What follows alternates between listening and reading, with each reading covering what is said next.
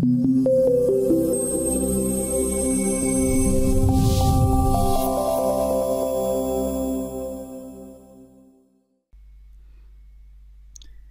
this video we're going to look at how you create basic shape cabinets. To design a cabinet in Polyboard we always start with a basic shape. This is the shape of the plan view of the cabinet. It can be anything from a simple box to a complex form. Let's take a look at the basic shapes and how they work.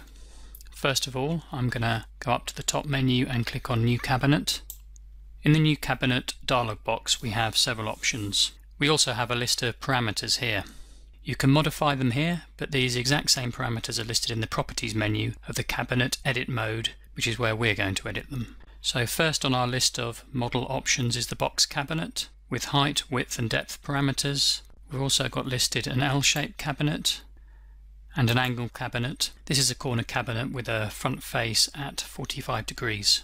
An option to create a free shape cabinet. We'll look at this feature in other videos and also from a file if you click on that, you can open an existing cabinet that you've made and use this as the starting point for your design. Let's go back to the L-shaped cabinet and click OK. So making sure I've clicked outside the cabinet, I can go over to the Properties menu here and change the height, width and depth parameters. Let's reduce the height slightly. You can see that change reflected in the cabinet edit mode. You can also down here remove panels if you wish Let's take the left side out, select no, and put it back in.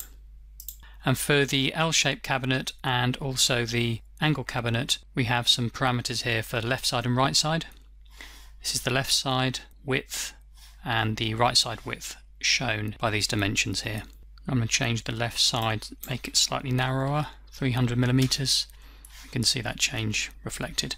Let's click undo now there's also a proportional dimensions section. When we edit the dimensions here, there's no impact on whether this is set to yes or no. However, let's just turn it to no now uh, and change the overall cabinet dimensions. I'm going to make the depth 800 millimeters. So the depth here is reduced by 800 millimeters. The left side has still stayed at 500 millimeters. That's with proportional dimensions set to no. Let's undo that change it to yes and now reduce the depth to 800 again. So we halved the depth. This time the left side has halved as well. So with proportional dimensions set to yes, if you make a change to the overall cabinet dimensions, it will proportionally increase or decrease this left and right side value. Equally, if we change the width, the right side would be affected. Thanks very much for watching. Goodbye.